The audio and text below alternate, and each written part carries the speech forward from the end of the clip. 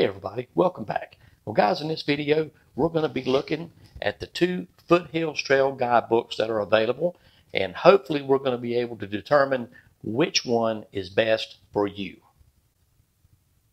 All right, so we've got Foothills Trail guidebooks on the table today. We've got this guidebook here, which is Hiking South Carolina's Foothills Trail, written by Mr. Scott Lynch. And this guidebook, which is the official guidebook put out by the Foothills Trail Conservancy. Well, let me start out by saying that I am a member of the Foothills Trail Conservancy and I'm the trail maintenance coordinator for that group. All right, but we're going to look at these guidebooks and I want to promise you that I'm going to give you an honest and objective opinion on each one.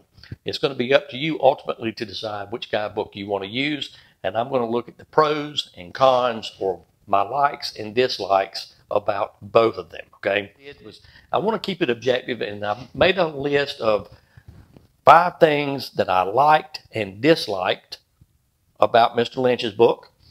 And then same thing with the Foothills Trail Conservancy's official guidebook. Five things that I like about it and five things that I dislike about it. Okay. But at the end of the video, I'm going to tell you which one is my choice and the reason why I feel you should pick the one that I'm going to pick. Okay, we're going to start with this one first, the official guidebook that's put out by the Foothills Trail Conservancy. So let's see here. Things that I like about it is that, you know, this book has a long history. And you can see here behind me, I've got my display that we have up at our annual meeting and our spring picnics and stuff. This is the seventh edition of the Foothills Trail Guidebook. It started in 1983 with this little brown one, and it has been changed through the years and modified and improved to this version that you see here, our seventh edition. All right, things I like about it is spiral bound. I like that. It lay it out flat and you know lay it on your bench or you can fold it over backwards. It makes uh, using it a lot easier. All right, I also like that this guidebook is up to date.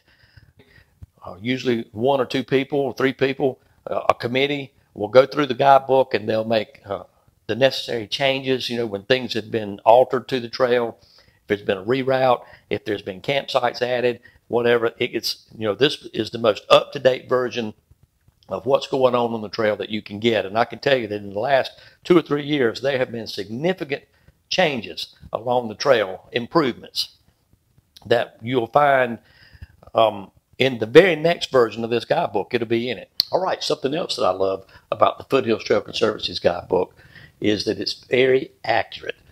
Hayward Douglas went out and hiked the entire trail four different times, twice with a measuring wheel taking notes, and two more times with you know, a heavy duty GPS, like a backpack version with an antenna.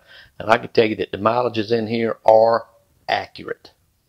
Something else I love about this guidebook is that it leaves all the planning to you. It's not going to have prepackaged hikes you know, it's not going to do all the thinking for you. It's going to give you all the information you need.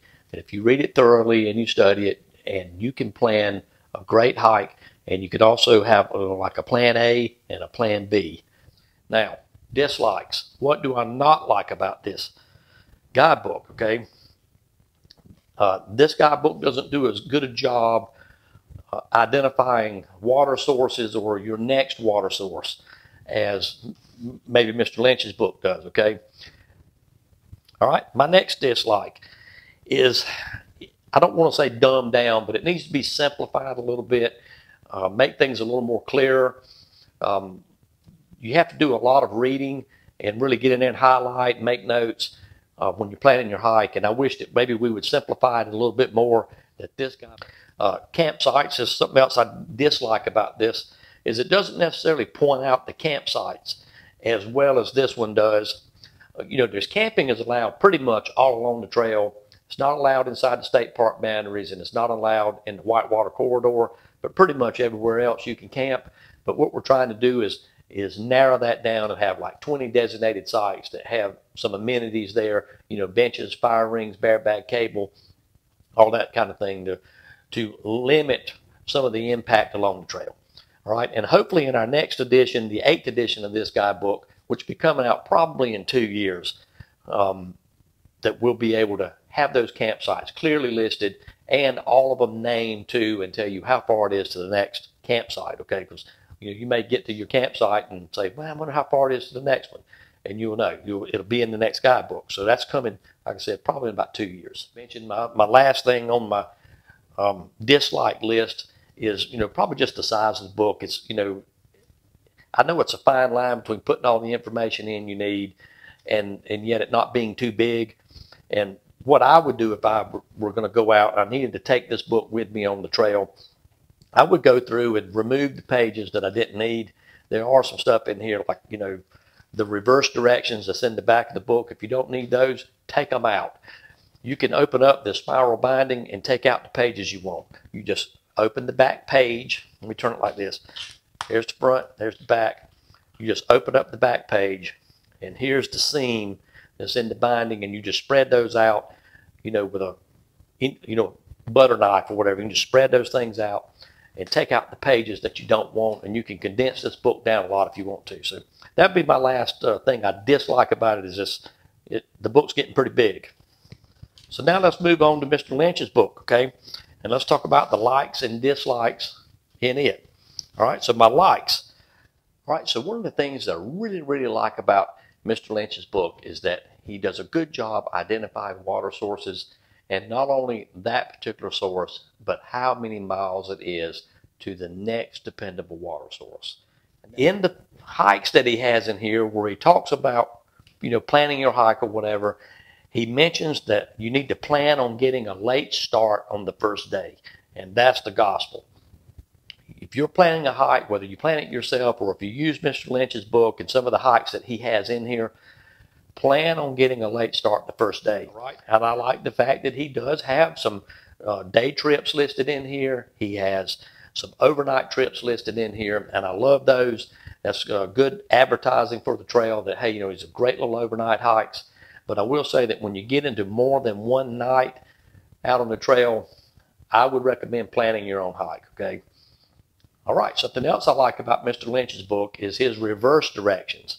Uh, you could tell that he basically took his Table Rock to Oconee directions and just flipped them around and all the mileages, he just had to change those around a little bit and but all the descriptions are the same going either way. And I love that.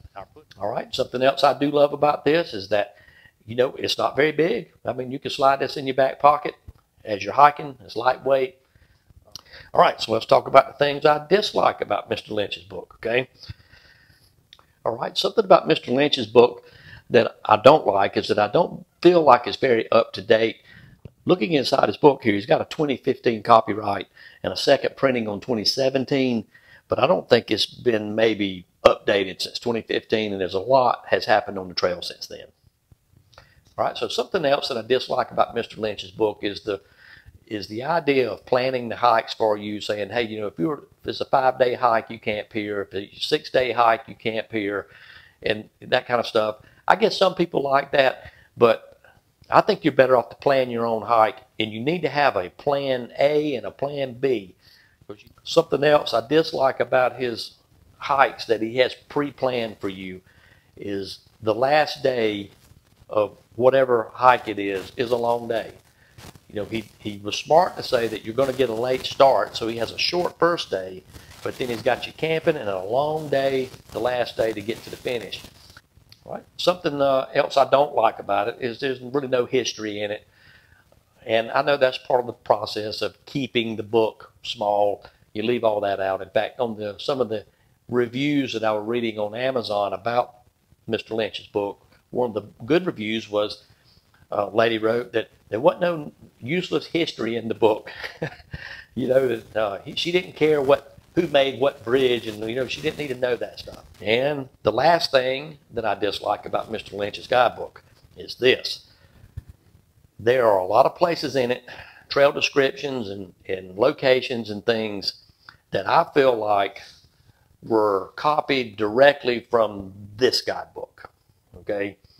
And how I know that, that there was a mistake in this guidebook in one of the mileages, and I'm not going to say where it is, but I went out with my wife and we found the spot and we confirmed it with the GPS that the mileage was inaccurate. And when I went and spoke to um, the guy in charge, he told me that the mileage was put in incorrectly on purpose.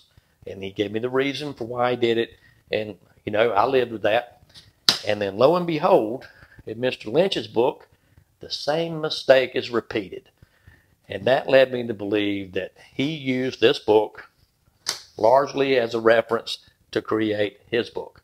Now, I don't have a problem with that, other than should have put in the back of his book somewhere put either a works cited page or a bibliography or something and say in there that, hey, I referenced this book when I made this one. You know, don't play it off that this is an original work when it's not. So which one's the best? And here's the reason that I choose this one. Okay. This is the book I want. This is the one I'm going to buy. This is the one I'm going to use. And here's the reason. This book, when you buy it, not one penny of the proceeds goes back into the trail that we love. All right? And there's nothing wrong with profit. There's nothing wrong with, you know, Mr. Lynch making, you know, money off of his book. That's what he made it for.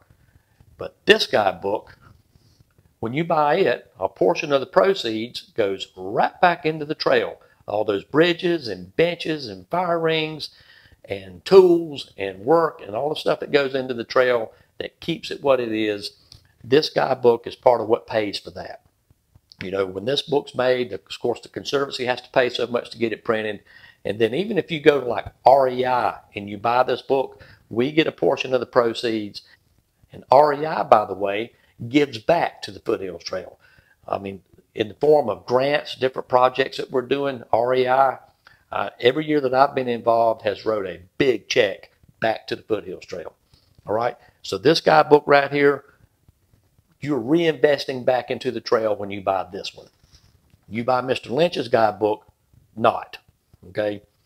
So think about that you know, if you love the trail, you love those bridges, and you love, you know, the benches that we're putting in and the fire rings that are being bought and put in, and the bridges across the creeks and stuff, you're not getting your feet wet because of this guidebook right here and the revenue that it produces for the Foothills Trail Conservancy, along with these maps, okay? All this stuff that, that the Foothills Trail puts out is a large part of the budget that goes back into the trail. All right, well, guys, I hope you enjoyed this video about which guidebook you want to use out on the trail. It's up to you. You use whichever one you want. They'll both get you there. They'll both get you back. And I hope you enjoyed this video, and I hope you come back for the next one.